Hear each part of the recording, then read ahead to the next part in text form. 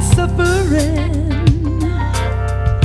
or so many broken hearts